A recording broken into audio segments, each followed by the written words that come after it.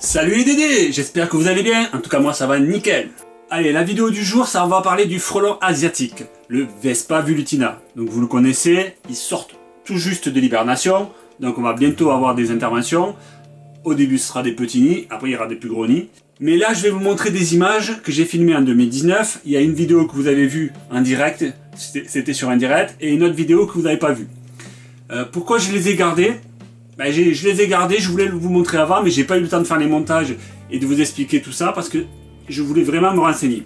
Depuis quelques années, je vois une évolution sur ce frelon. Vous savez que je traite le frelon depuis 2004. Euh, d'accord?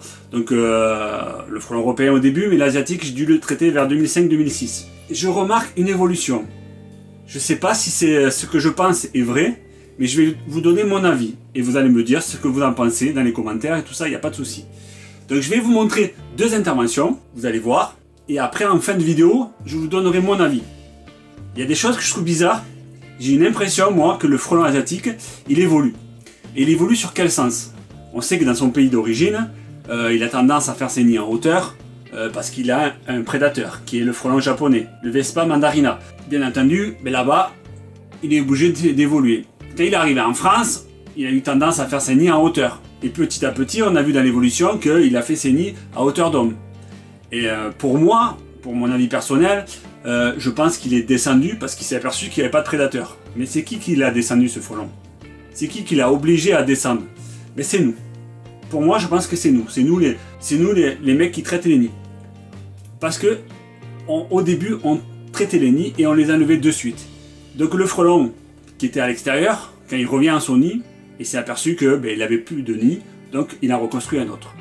Au début, en plein été, ils vont les reconstruire dans les arbres, mais en hiver, dès qu'on commençait à avoir les nids fraîches, pour moi, à mon avis, le frelon s'est dit ben, il va falloir trouver un endroit plus chaud. Et il est descendu. Et il s'est aperçu, ben, là, ben, qu'il n'y avait pas de prédateur, que le frelon européen, ben, entre les deux, apparemment, ils n'ont pas l'air de se, de se battre. Donc il a commencé à faire ses nids à hauteur d'homme. Et fur et à mesure, il a donné l'information aux futures reines, et les futures reines ont donné l'information, et c'est pour ça que je pense qu'aujourd'hui, on fait beaucoup plus de nids à hauteur d'homme qu'en hauteur. Après, il y a eu d'autres évolutions. On a l'impression qu'il fait des nids secondaires, ou des nids, même un troisième nid, on ne fait pas. Euh, des plus petits nids, sur des façades. Euh, voilà, tout ça on l'a vu dans le futur. Moi au début, quand j'ai commencé à traiter le front asiatique, c'était pratiquement que dans les arbres. Et petit à petit, on en a vu sur des façades, sur des maisons, sur des arbustes, voilà, un peu partout. Et là, j'ai l'impression qu'il a une autre évolution. Qu'il s'est aperçu que son prédateur, c'était nous. Nous, les, les dératiseurs, les désinsectiseurs. Et qu'il est en train de trouver une technique pour essayer de nous piéger. Donc je vais vous montrer deux interventions. Une que vous avez déjà vue en direct, mais vous n'avez pas vu la suite. Et euh, une autre intervention. Et en fin de vidéo, je vous donnerai mon avis. Je ne sais pas si c'est vrai, si c'est la bonne solution, si, j'ai raison. Voilà. Je me dis, j'ai un peu d'expérience. Peut-être que c'est vrai, peut-être que c'est pas vrai. Donc on verra ça.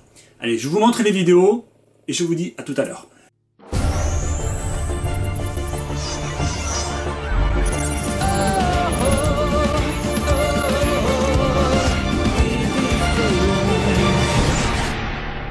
Allez, on est en direct pour un nid de frelons asiatiques sur une façade. Allez, je vais vous montrer le nid. Changer de côté. Alors le nid est juste en haut. Le côté de l'antenne. il fait 35 degrés. Allez, on va grimper à l'échelle.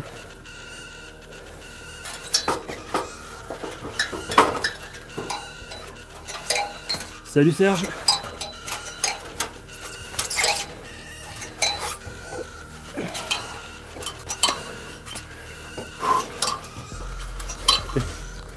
Il y avait une petite guêpe. Voyez la petite guêpe maçonne Allez, on s'approche du nid. Il fait la taille d'un ballon de foot. Un petit bébé, ouais. Salut, GFG. Allez, on arrive au nid. Regardez-moi ça. Ça travaille.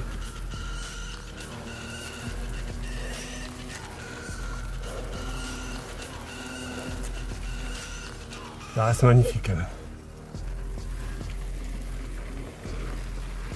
Donc là, on voit qu'il y avait une attache de, de guêpes maçonne qui a été enlevée.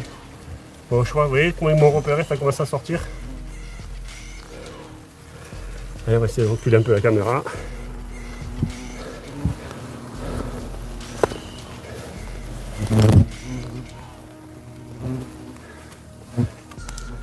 Allez, ça attaque. On va mettre la poudre.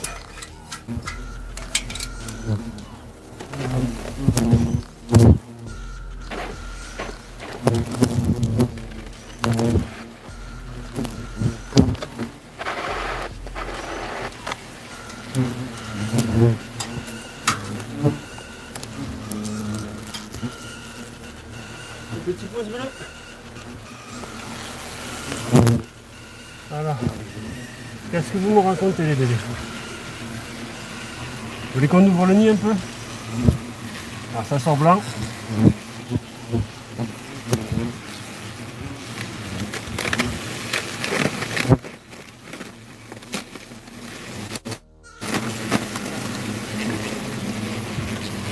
On peut regarder l'intérieur. On voit qu'il n'y a pas encore de larves. Donc il doit y avoir pas mal d'œufs.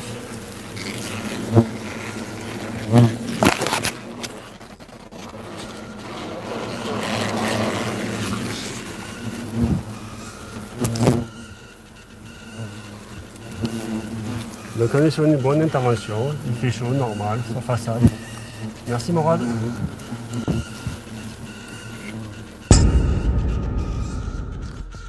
Bon là les Dédés, on est une semaine après, le client me rappelle et me dit qu'il voit un autre nid de frelons en train de se reconstruire. Est de l'autre côté de la maison. Donc on voit que le nid là, il n'y a plus personne. Donc là je vais faire le tour de la maison. Alors désolé, il n'y a pas de son, hein, j'ai eu un problème de son. Donc je commente la vidéo. Donc on arrive de l'autre côté de la maison, le même angle, mais de l'autre côté, et on voit bien que les frelons sont en train de reconstruire un nid. Donc ça reste bizarre. Et je vous expliquerai pourquoi.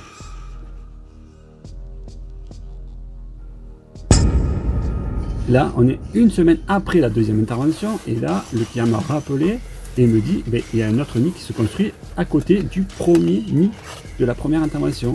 On voit bien qu'il est actif. Et là, c'est vraiment bizarre. Donc, moi, ce que j'ai remarqué, c'est ce que je vais vous dire après, en fin de cette vidéo, c'est que là, il y a un problème. Il y a un problème, il y a une évolution de frelons.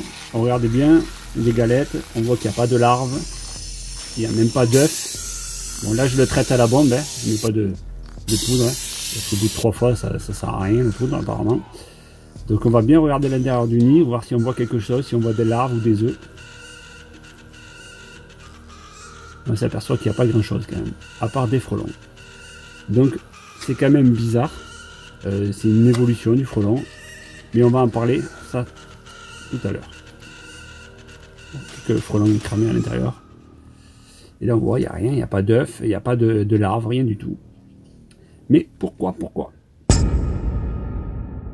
Allez, aujourd'hui on est sur un nid de frelons asiatique un peu spécial. Il y a une semaine à peu près, j'ai traité un nid de frelons asiatique sur une façade. Et le client m'a rappelé parce qu'il y a un autre nid qui se reconstruit à quelques mètres. Alors je vous montre ça. Donc le nid il est juste là. Donc ce nid est vide, je l'ai traité depuis le balcon là. Donc il n'y a plus rien qui vole dessus. Et malheureusement ils ont reconstruit un autre nid ailleurs. Alors je vais vous montrer ça. Ouais. Donc ils ont reconstruit ça. Ça arrive. Je ne l'avais pas filmé cette intervention. Mais là je vais vous montrer quelque chose de spécial. Voilà. On est juste à côté, l'autre côté de la façade. Je ne sais pas si vous allez le voir. Juste en haut de la fenêtre, il y a une reconstruction. On voit bien des frelons voler. Et là, je vais vous montrer autre chose. Vous allez voir. J'ai le gardien qui doit me rejoindre aussi. Je vais vous montrer autre chose vite fait. Donc là, je fais le tour. On est toujours sur le même immeuble. Toujours sur le même immeuble. Et j'ai remarqué quelque chose. Donc j'irai vérifier avec la combi parce que là, je pourrais pas. Je pense avoir trouvé le nid principal. Voilà. Vous voyez cette haie Il y a des va-et-vient de frelons sur le côté qui n'arrivent pas derrière.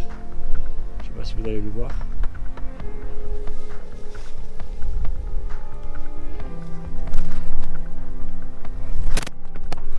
Je vais mettre la combinaison, me préparer, traiter la partie euh, reconstruction et revenir voir ici de plus près. Je m'habille, je vous dis à de suite. Bon, première partie à l'ombre, donc c'est bien.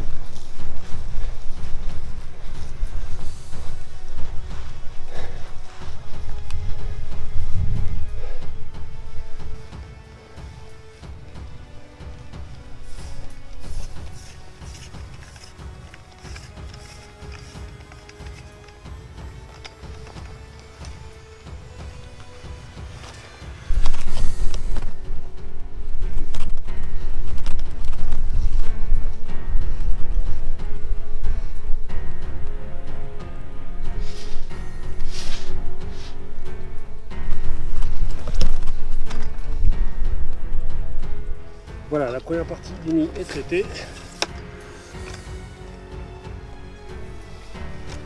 Donc là, j'enlève le pic pour mettre dessus. Là, j'aurais pas besoin de la perche pour la partie dans le buisson.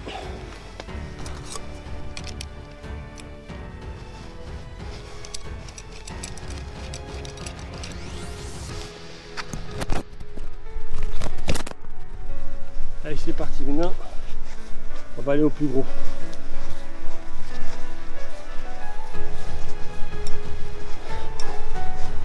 Il fait chaud, il fait chaud. Ça approche. Vous voyez À côté d'un balcon apparemment. Les gens se sont fait piquer ici. Donc on a validé. Allez, je vais vous montrer ça de plus près.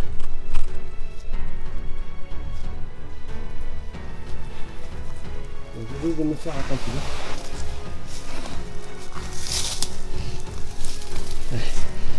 voyez où il est le nid?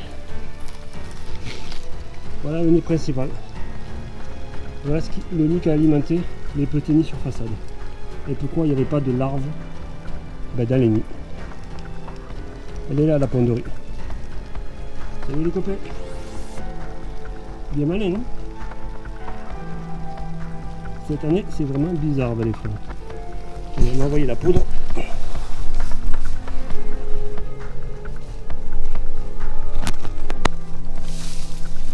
Et ça sort.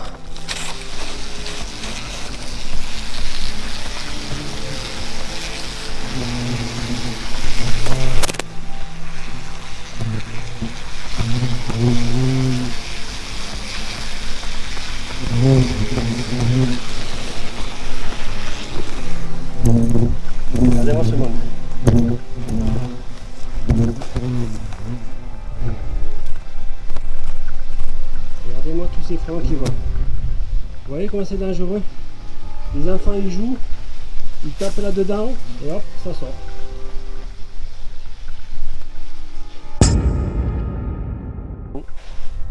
Trois nids en tout au total à cause d'un nid qu'on n'a pas trouvé. Alors d'habitude c'est en haut des arbres, mais là vous avez vu c'est en bas. Voilà, on est dans un coin, il n'y a pas trop d'arbres très hauts. Bon voilà les Dédés, vous avez vu les deux interventions. On voit bien que sur la première intervention, on ne voit pas de larves ni d'œufs dans les alvéoles du nid de frelon. Alors, mon avis à moi personnel, hein, c'est que mon avis. Hein. Je ne dis pas que j'ai raison, euh, c'est ce que je vois sur le terrain. Euh, souvent, nous, quand on fait une intervention, moi quand je fais une intervention, je sais que Étienne fait la même chose, on garantit notre nid jusqu'à la fin de la saison. C'est-à-dire que si je traite un nid au mois de juin, je mets la poudre, je laisse le nid et je dis à mon client, s'il y a un nid qui se réinstalle à côté du nid ou si le nid de frelon, il y a des frelons qui reviennent, vous nous appelez, le nid est garanti jusqu'à janvier. Voilà, jusqu'à janvier de l'année suivante. Si on fait cette garantie-là, c'est qu'on on sait que notre produit, la poudre, est très importante. On sait que ça tue et que ça marche. Même que ce soit la poudre écologique ou l'autre poudre, on sait que ça marche. Sauf que quand on nous appelle et qu'on nous dit, ben, comme vous avez vu sur les interventions, un nid s'est réinstallé juste à côté, et pourtant on voit bien que le nid à côté il est poudré. Et on se dit, mais pourquoi? On sait aujourd'hui, je ne sais pas si vous le savez les Dédés, j'ai dû le dire dans une vidéo, ou Étienne a dû le dire aussi, euh, le frelon, pourquoi il revient dans son nid? C'est parce qu'il a besoin des larves. La larve rejette une salive qui, a beaucoup de protéines. Et le frelon, quand il vient nourrir la larve, il prend comme récompense un peu la salive. Et ça, ça le fait revenir. C'est pour ça que des fois, on voit des frelons dans les vidéos euh, partir avec une larve. Parce que pour eux, c'est très très important, les larves. C'est quelque chose qui les fait revenir dans le nid. C'est pas la poudre qui les fait revenir, c'est les larves. C'est pour ça que l'importance de laisser un nid sur l'intervention est très importante parce qu'on va éliminer toute la colonie. Mais sur ces deux chantiers, on voit bien qu'il n'y a pas de larves et ni d'œufs.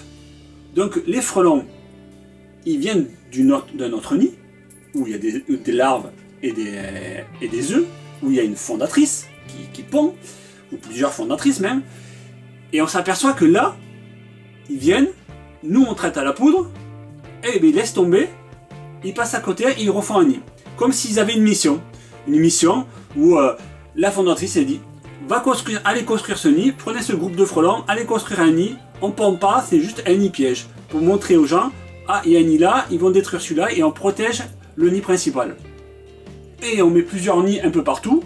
Comme ça, tous ces nids sont attaqués par l'homme, les tueurs de frelons. Ils ont l'impression que le nid principal est protégé. Donc c'est pour ça que je, pense que c'est une évolution du frelon et qu'il évolue à se défendre contre nous, l'homme, les chasseurs de frelons. Alors est-ce que c'est vrai, est-ce que c'est pas vrai, je sais pas, mais c'est vraiment mon avis. Je trouve qu'on le voit de plus en plus. Et j'ai remarqué qu'ils le font sur des façades. Ils font pas ça dans, dans un arbuste, ils font pas ça euh, dans un arbre. J'ai toujours vu un nid vide, sans larve, sans œuf, sur une maison ou sur une façade.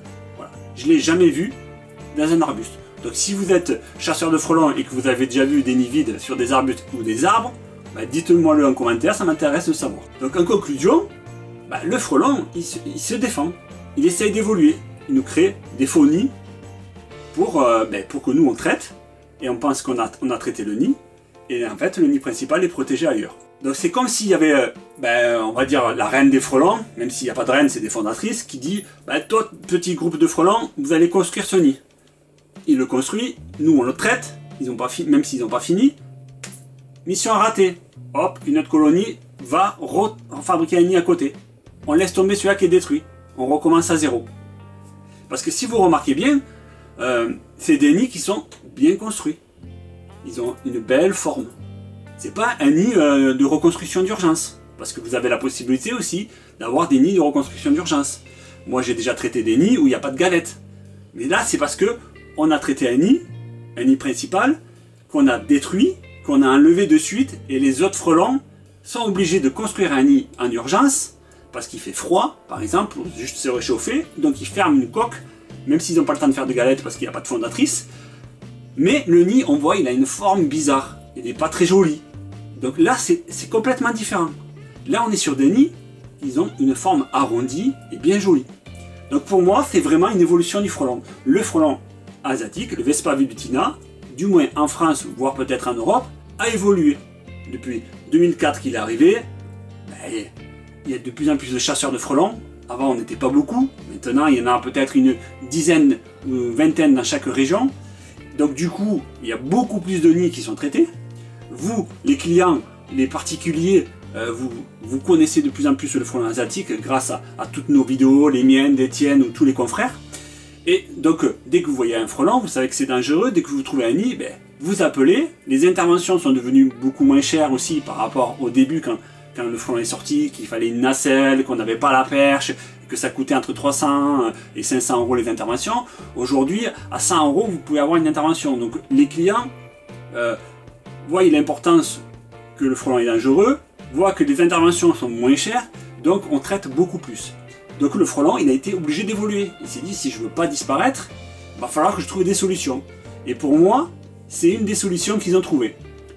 Faire des nids pièges. Des nids vides, où nous, on va avoir l'impression d'avoir traité. Et pendant ce temps qu'on traite ces nids-là, eh le nid principal, peut-être, ils auront une chance de moins qu'on le trouve. Voilà. Donc on voit que sur la deuxième intervention, j'ai trouvé le nid principal, mais j'aurais pu euh, venir trois fois, quatre fois, parce que là, ils, les ont refait sur la même maison sur la première intervention, ils l'ont refait sur le même immeuble, mais ils auraient pu changer et le faire sur un autre immeuble ou chez un voisin où j'aurais pas vu l'évolution. Ça aurait été une autre société qui serait venue et euh, on ne serait pas aperçu, on n'aurait pas fait le lien avec le nid principal. Je sais pas qu'est-ce que vous en pensez les Dédés. Euh, si vous êtes chasseur de frelons, donnez votre avis dans les commentaires parce que ça m'intéresse de savoir si vous pensez la même chose que moi. Euh, bah Étienne, tu es le plus grand euh, chasseur de frelons, hein. bah, j'aimerais bien avoir ton avis aussi, il hein. n'y a pas de souci. Ben voilà, j'espère que cette vidéo vous a plu, n'hésitez pas à la partager, à mettre un petit like et un petit soutien, et voilà. Donc je vous fais plein de gros bisous et je vous dis à très bientôt les Dédés. Quoi T'es pas abonné à Dédé Frelons alors dépêche-toi de t'abonner avant que je m'énerve.